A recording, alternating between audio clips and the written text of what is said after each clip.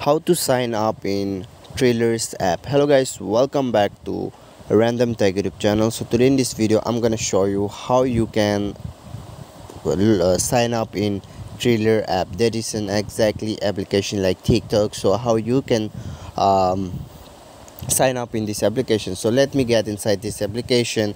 And then you can see here there will be lots of uh, videos like this so it's pretty cool. You can watch the videos like this.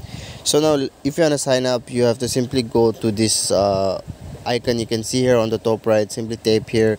And then here you will find sign up and login option. So to sign up sign up simply tap here. And then here you can see you can sign up from facebook twitter snapchat and phone number. So uh, basically and here you can sign up with your email also. So what you need to do you have you can select anything. So let me just go for facebook or you can go for email phone number or anything.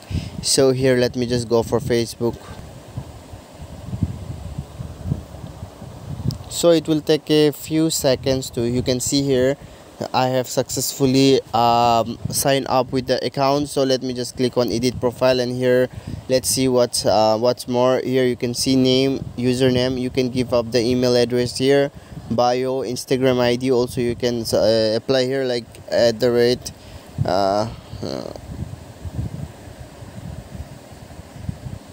okay. Now uh, connect uh, connect account with snapchat. So you can see here this is pretty cool. So you can connect account with snapchat and uh, cover image private. You can uh, keep the account as private or public. It's up to you. So you can see here it's pretty cool. The application is something professional. So i hope you should download this from google play store and use it. Thanks for watching. Do hit the subscribe button and press the bell icon